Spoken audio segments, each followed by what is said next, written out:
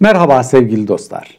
Kutsal kitap mı, kehanet mi? Uzaylıların istilasına uğruyoruz sandım. Daha neler göreceğiz? UFO görüntüleri paylaştı. Dijital hastalıkları da beraberinde getirdi. İşte o hastalıklar. Dijital dünya düzenini bekleyin. Mikroçipe razı olmazsanız korona bitmez. Aşı bulsak bile bundan çipliler yararlanacak.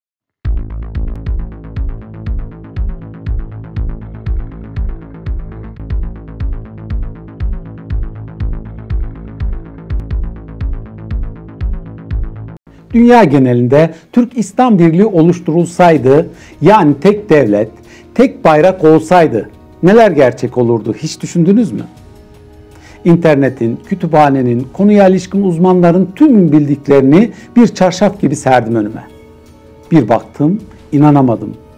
Önümde kocaman bir harita.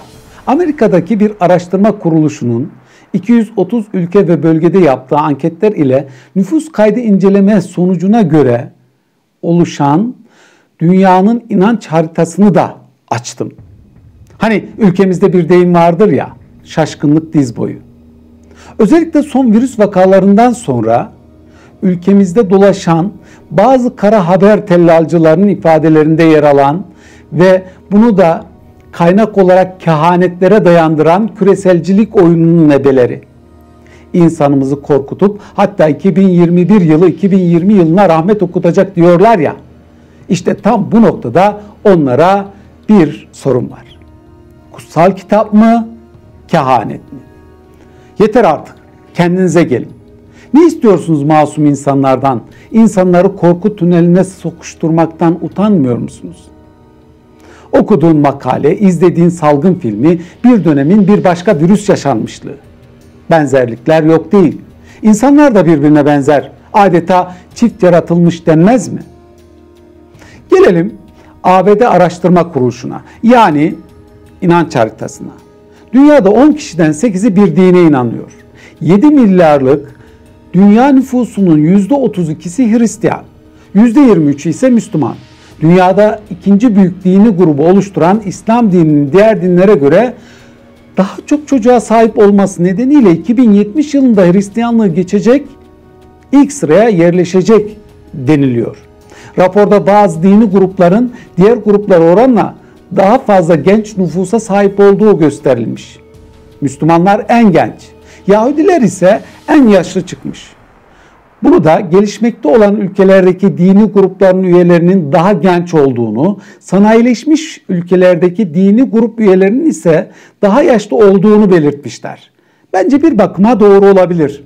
Sonuçta sanayileşmiş ülkelerdeki ailelerde bizde olduğu gibi ailede reis kavramı yok. Alman usulü herkes kendi cebine. Ülkeye sahip çıkacak yeni nesilmiş. Umurlarında değil adamların. Her şey günlük yaşam için. Bu yüzden yasalar, kurallar ve sosyal mesafeler bile erkenden delinip geçti. İkinci dalga mı? Külahımı anlat kardeşim. Neyse konumuzu dağıtmayalım. Şimdi anlatacağımız konu kehanet değil. Dünya nüfusunun ortalama yaşının 28 olarak belirlendiği raporda 23 yaş ortalaması ile en genç olarak Müslümanlar ilk sırada. Hristiyanların yaş ortalaması 30. Yahudiler ise 36 yaş ortalaması ile en yaşlı grup. Yeryüzünde yaşayan 1.6 milyar Müslüman olduğu tahmin ediliyor. Dünyada ikinci büyük dini grubu oluşturan Müslümanların yoğun olarak yaşadığı ülkelere baktığımızda maalesef okur yazar oranının ve gelişmişlik düzeyinin düşük olduğunu görüyoruz. İşte tam da can alıcı noktamız burası. Neden diye soruyoruz. Sormakta haklıyız. Çünkü kitabımız Kur'an'da aklımızı kullanmakla ilgili 75 ayet geçerken ben nerede yanlış yapıyorum diye soruyorum. Eğitim akıl işi değil mi diye. Da kehanet değil. Bu kutsal kitap. Asırlar öncesine gidip de müspet bilimlere baktığım zaman inanç haritasının başkentinin Müslümanlık olduğunu da görüyorum. Görülen o ki yakın tarihte bakılınca bu başkent moda bir kelimeyle karantinada entübeye alınmış gibi duruyor. Gelelim Büyük Birliğe. Dünya Müslüman ülkelerinin tamamı ciddi bir kararla devasa bir birlik oluşturmuş olsaydı neler olurdu? Daha önce de belirttiğimiz gibi Bugün dünyamızın çeşitli yerlerinde 1,5 milyardan fazla Müslüman yaşamaktadır. Şimdi şöyle düşünelim. Bir birlik oluşsaydı, ekonomik açıdan bakıldığında hasılatıyla dünyanın en büyük ekonomisine ulaşılırdı. Amerika ikinci, Avrupa Birliği üçüncü, Çin dördüncü sıraya yerleşirken Rusya'nın ismi bile okunmazdı.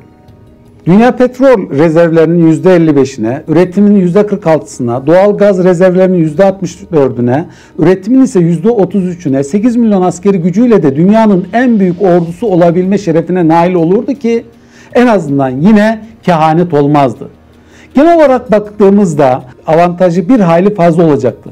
Büyük ekonomi, doğal gaz zenginliği, büyük nüfus, askeri güç, muhtemelen dünyanın dengeleri alt üst olur, İslam coğrafyası rahat bir nefes alırdı.